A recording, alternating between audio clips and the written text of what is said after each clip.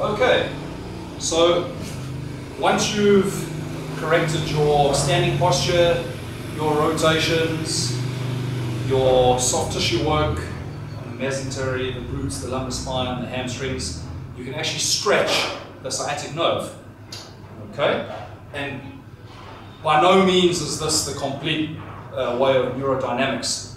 Uh, it's just a couple of techniques that you can use. Okay, so if you get to hear on someone, and that's it, that's where they start to feel uh, the impingement, okay, you can pump.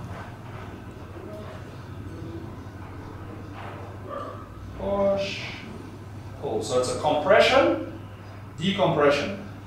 You can start to affect the hip capsule. This is not a harmonic, it's a pump. Okay. You can actually tension the nerve. So what do you do? You rotate externally or internally. Okay. If I know the piriformis, the glutes, okay, they could be trouble causes. So what do I do? They are external rotators. So I internally rotate Okay? Be gentle, eh? If you really want to stretch the sciatica, you're stretching the calf as well, but you're putting a huge stretch on the sciatic nerve. And I can gently pump, pump, pump. I can also decompress and rotate. I can get Anya to side bend, put more stress on the sciatic nerve.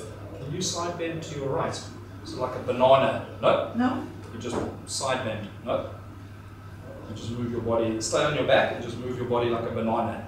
Yeah, perfect. Great. Okay? And I could also put pillows under her head to put her into flexion and stretch the nerve even more. And gently mobilize. I can do, I can stir the pot. I can uh, experiment with uh, eversion, like this, yeah, and dorsiflexion. Inversion and dorsiflexion. Uh, if you want to get the lateral part of the sciatic, you can. Evert and plantar flex. All sorts of variations, guys, and I would encourage you to experiment with them. If you're interested in neurodynamics, uh, David Butler, the sensitive nervous system is a great resource. Okay, that's all for today.